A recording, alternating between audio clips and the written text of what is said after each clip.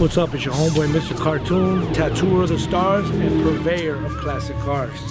Right here in downtown LA, you're watching the Dub Magazine Project.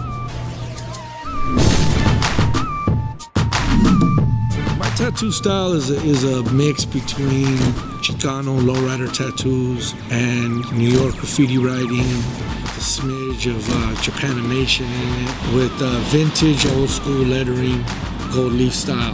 You put all that in a bowl, put some butter and mix it up, and you get my style. I feel a lot of things are going forward in tattooing. They have different reality shows.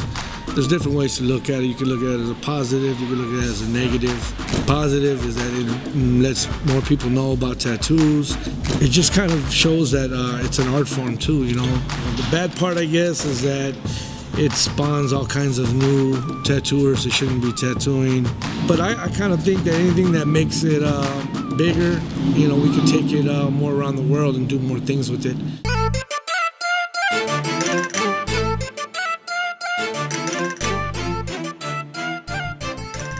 Now, for me, tattooing is colliding with automotive, starting to all come together. You know, my graffiti, my my love for cars, vintage and new European cars. I just always grew up seeing tattoos and, and custom cars. Now I kind of want to just draw on cars again and really make uh, automotive go farther. Instead of a bunch of young kids trying to be tattooers, I want to see them want to be automotive muralists and keep this art form alive. You know what I'm saying? This is the 1963 International Milk Truck. I turned it into an ice cream truck. These used to run around in the 60s and deliver milk and, and dairy to people. I just always had a dream of this this hood ice cream truck, you know, something that you could do so many murals on. If you did this much work to to a 63 Impala, it would look ugly.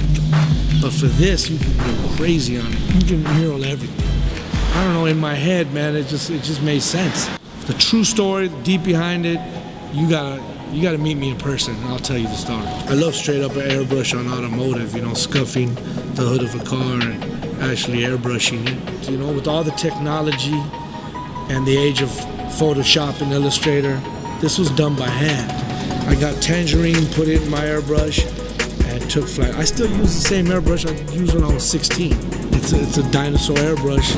I know I keep it old school, you know. So it's not always the thing you're using; it's who's behind it. You know, you can have the fanciest camera in the world, but you don't know what you're doing with it. You know, a guy with the old raggedy 1950s camera can come up with a better look.